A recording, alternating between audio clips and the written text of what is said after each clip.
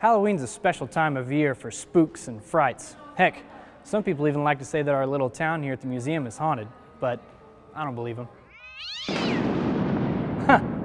So, in spirit of the season, we're going to tell you a tale that's right out of the Weird West. Now, I must warn you, this story is not for the faint of heart. Elmer McCurdy was a man nicknamed the Bandit Who Wouldn't Give Up, but in all honesty, he probably should have.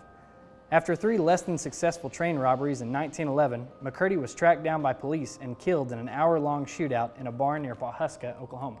But his story doesn't end there. McCurdy's body was embalmed, but he had no family to claim it. So the funeral home put his body on display for the public to see for five cents apiece. And sure, why not? Don't you remember that story your grandparents used to tell you? Why, when I was your age, you could see a dead guy for only a nickel. The funeral home exhibited the corpse for five years until two mysterious men who said they were McCurdy's brothers came to claim it.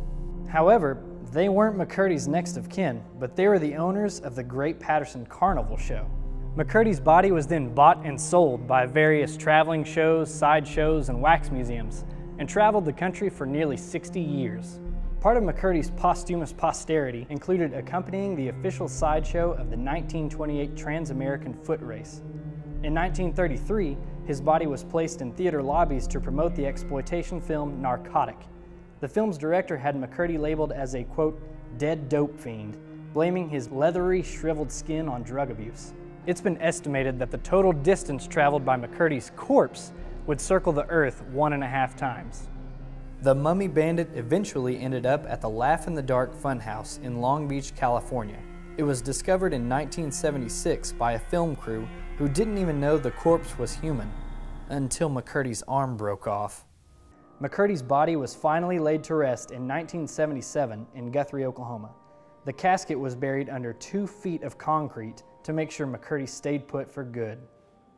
Well, that wraps up this creepy tale. Thanks so much for watching, and on behalf of the National Cowboy and Western Heritage Museum in Oklahoma City, have a very safe and happy Halloween. I'm gonna get out of here.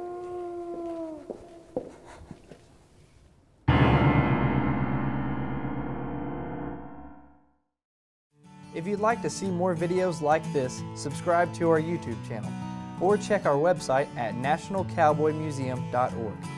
Also, be sure to follow us on Twitter, Facebook, Instagram, and Pinterest. Thanks for watching, folks.